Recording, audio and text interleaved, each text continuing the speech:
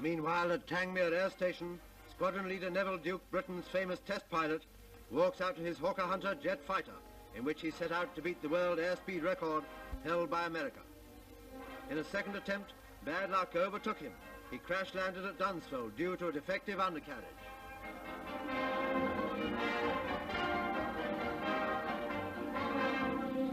Later that evening, the Royal Aero Club made the announcement that his first flight had broken the record.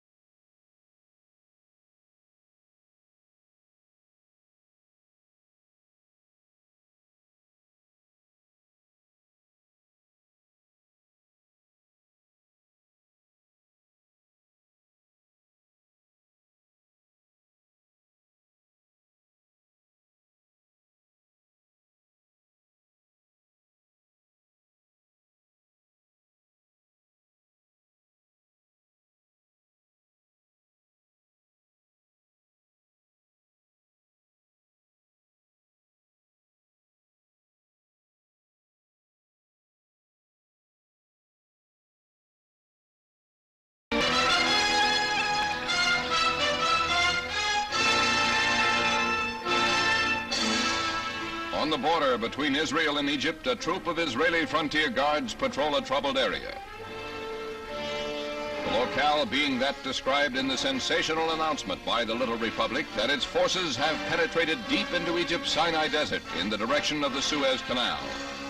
An assault, it is said, that had to be made because of constant Egyptian military attacks on Israeli citizens and the mining of land and sea approaches to the Republic.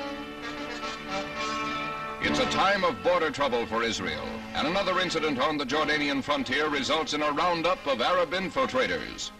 Action that follows an attempt by these illegal entrants into the country to terrorize the Israeli populace living near this troubled line.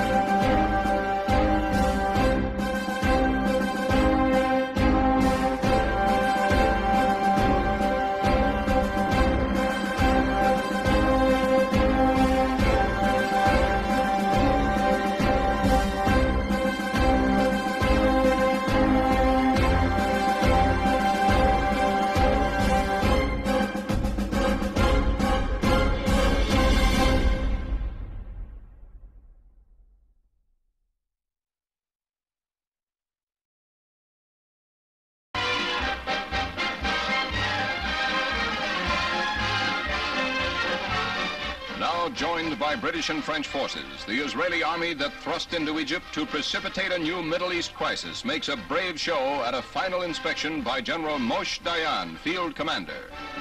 A modern striking force, it swept to success in the Sinai Desert, cutting off the Gaza Strip to effect an amphibious landing near the Suez Canal after routing 20,000 Egyptian troops.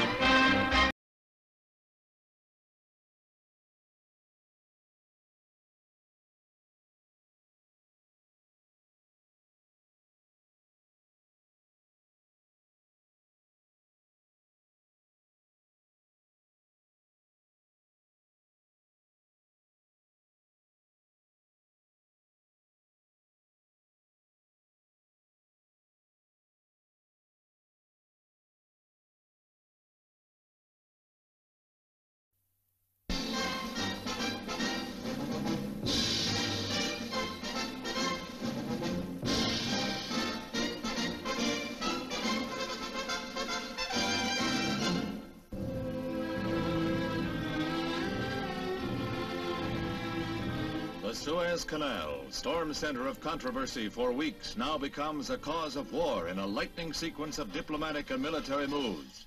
Since its seizure and nationalization by President Nasser of Egypt, the vital waterway has precipitated a new crisis in the already tense Middle East. Crack French units are embarked at Marseille, bound for a joint staging area with Great Britain on Cyprus, less than an hour's flight from Egyptian ports, where they are prepared for seizure of the canal by force. Simultaneously, Britain reinforces its garrison on the island for the same eventuality.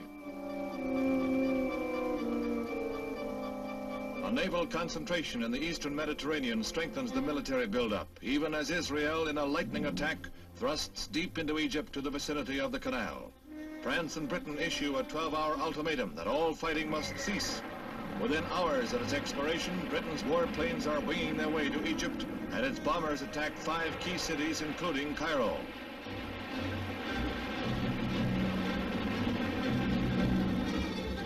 Following a Security Council veto by Britain and France of a United States motion for a ceasefire, President Eisenhower, after consultation with Secretary of State Dulles, makes a firm declaration of United States policy. United States was not consulted in any way about any phase of these actions, nor were we informed of them in advance. In the circumstances I have described, there will be no United States involvement in these present hostilities. I therefore have no plan to call the Congress in special session. Of course, we shall continue to keep in contact with congressional leaders of both parties. It is our hope and intent this matter will be brought before the United Nations General Assembly. There, with no veto operating, the opinion of the world can be brought to bear in our quest for a just end to this tormenting problem. In the past, the United Nations has proved able to find a way to end bloodshed. We believe it can and that it will do so again. The whole question is brought before an emergency session of the General Assembly where it faces the bar of world opinion.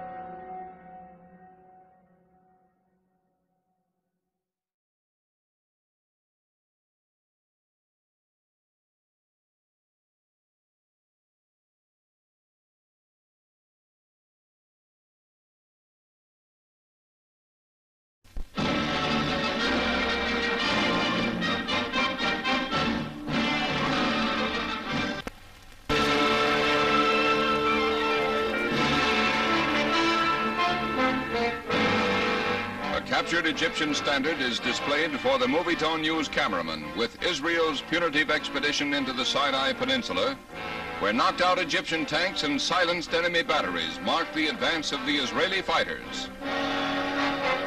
Though captured Egyptian wounded are treated with every consideration.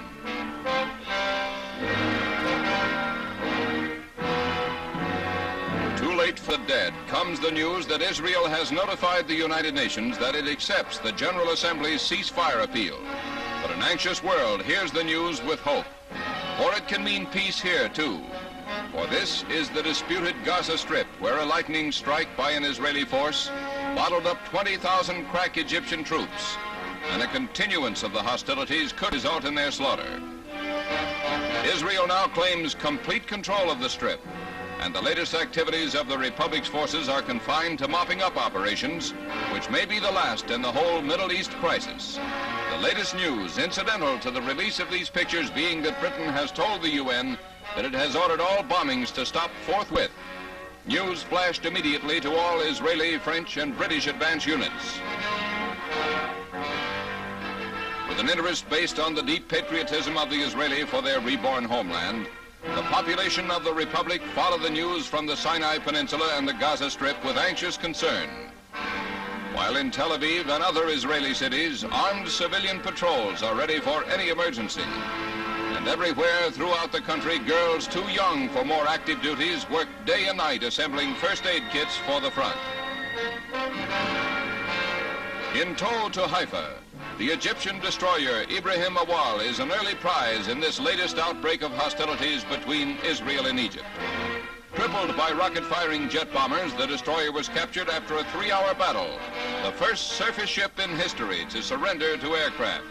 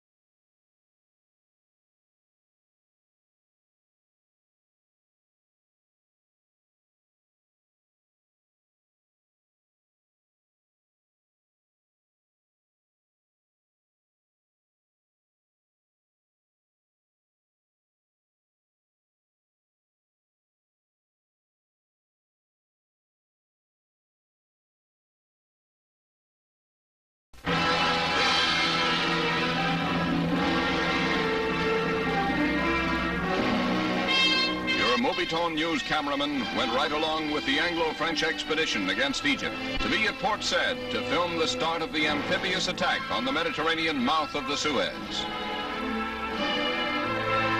An advance that was followed after bitter fighting in the taking of Said and Port Fouad.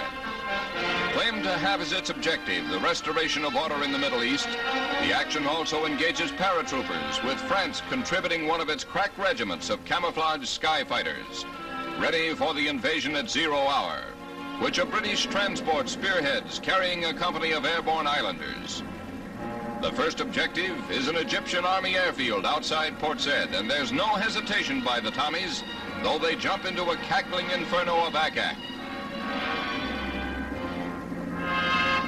The paratroopers soon controlled the canal zone shown below, after which the UN ceasefire plan was accepted by the invaders. But not before the waterway was closed by Egyptian sinkings of blockade ships.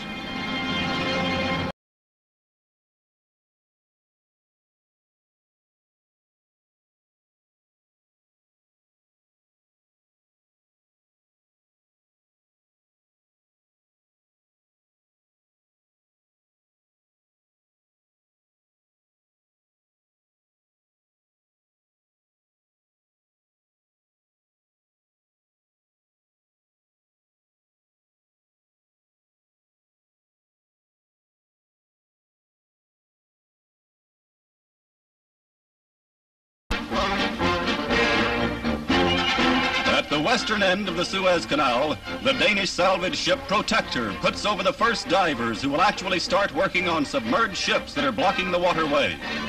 Under the direction of United Nations experts, the Danes, with divers from several other nations, will begin by clearing away major obstructions first. Later, they'll go to work on removing smaller hulks and wreckage from the canal's edges.